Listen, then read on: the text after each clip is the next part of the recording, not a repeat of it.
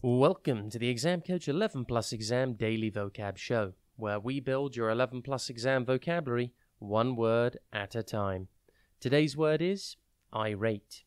It is pronounced I rate and spelt I R A T E.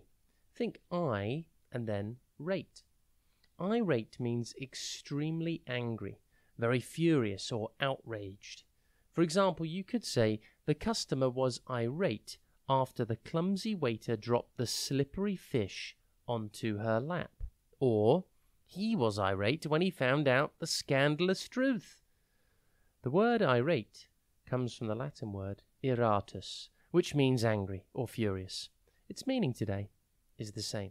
In the movie Inside Out, all the main characters' emotions are personified into characters of their own. Riley's anger is portrayed as always irate and quick to express his grievances. He is also red, a colour typically associated with anger. Synonyms for irate include angry, furious, outraged, and incensed. Antonyms for irate are calm, peaceful, and content. Impress your friends and family by using your new word today irate. Have a top day ahead, and we'll be back tomorrow at the same time for another Exam Coach 11 Plus exam daily vocab show.